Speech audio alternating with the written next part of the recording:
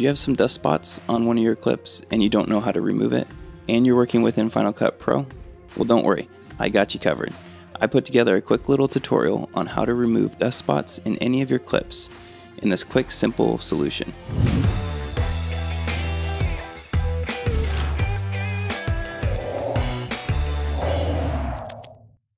Now, once you're in Final Cut Pro, there's a couple things that you need to do. It's simple, it's three little steps, and you'll have your spots removed very easily. First things first, you want to duplicate the clip by going Option, click, drag above. Now you have two clips. You want to do everything on the top clip, so make sure that that one is the one that is always selected. Now you want to move into your effects browser, your video effects browser. So click over there or do Command 5, which reveals it. You want to go down to your masks, draw mask, click and drag that onto your top clip. Now just draw around your dust spots. It doesn't have to be perfect, just kind of around, you know, bit. And there you go. So now that's all together.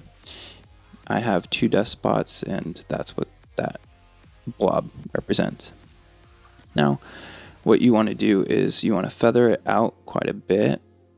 This helps with the second part of what we're going to do. Now, that is going to be going up to your blur effect and clicking on Gaussian.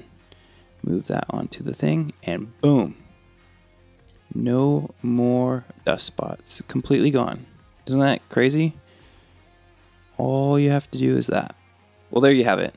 There's your simple, quick, and effective solution to removing those pesky little dust spots that have accumulated on your sensor in your camera, but have been translated over into your clips. So, I hope you learned something. Thanks for watching to the end. And if you want to find out more about any other videos that we have on this channel, I encourage you to subscribe and like this video so that it helps with those YouTube algorithms. So, thanks for stopping by. Cheers.